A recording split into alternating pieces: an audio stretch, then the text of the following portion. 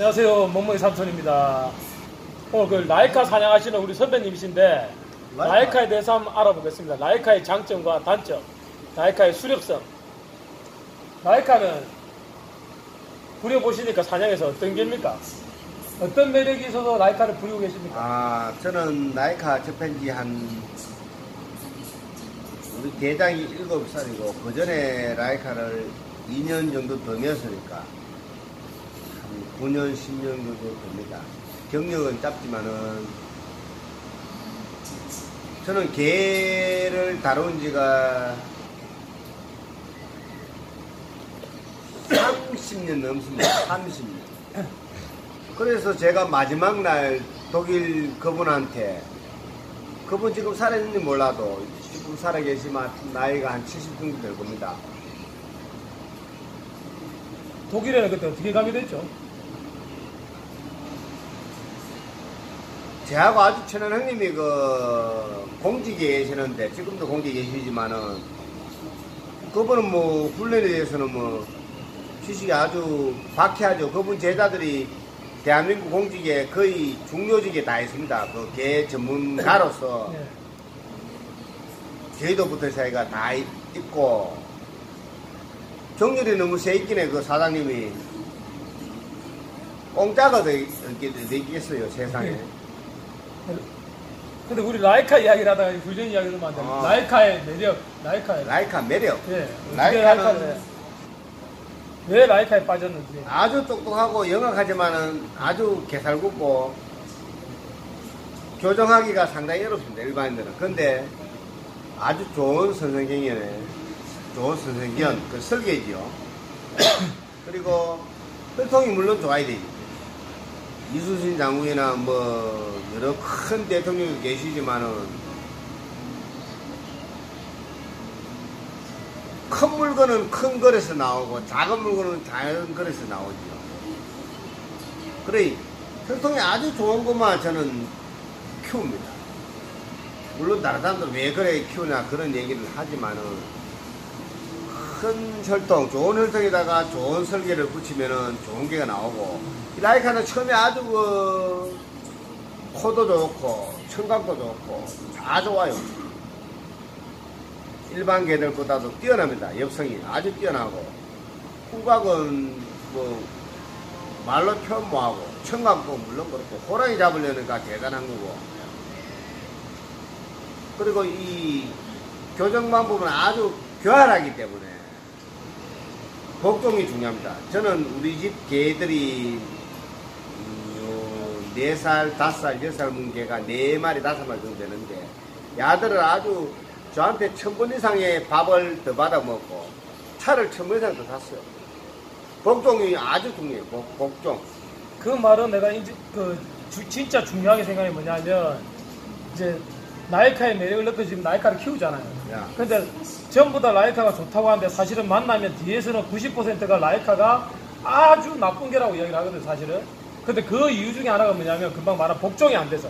그렇죠. 아주 복종이 중요하다는데 복종이 안 복종이 안 돼서 시- 아주 어렵죠, 네. 복종이. 차를 차- 사냥을 잘하다가 어느 날 차를 안 타고 빼질거려서 그러면 뭐, 행동 교정을 해야 되는데 교정을 시킬 수 있는 능력이 안 되는 사람들은 이제 못 키우는 거예요, 그러니까. 말하자면. 못 키우. 예.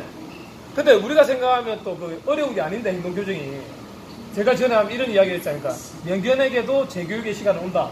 근데 보통 사람들은 그 훈련을 하거나 이런 걸 해본 적이 없으니까 사냥을 하면서 그럴 때 이 개가 나를 배신했다.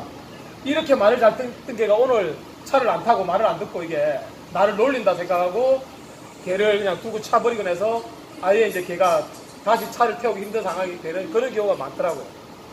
그러니까 라이카를 잘 이해를 못하고 또 아까 코하고 청각이 아주 좋다 했는데 그것 때문에 끈이 너무 길거나 아니면 하나의 냄새를 맡고 갔는데 다른 냄새를 타고 또 다른 냄새를 타버려서 너무 멀리 가는 거 마을에 내려가는 거. 요런 것도 이제 말하자면 복종 훈련이잖아요.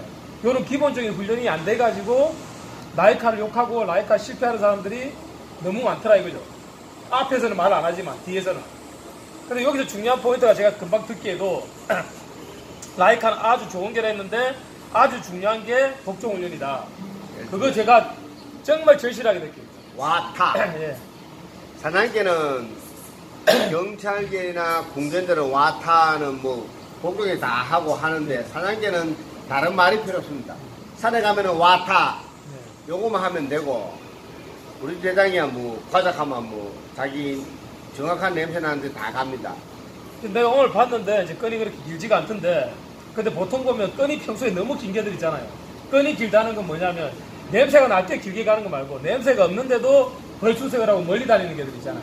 그런 또 아까 혈통이 중요하다 했잖아요. 근데 또 그런 혈통이 많이 있단 말이에요. 라이카가. 벌레를 타고 이 냄새를 타고 갔는데 또 저 냄새를 타버리고 끈이 길어지는 거.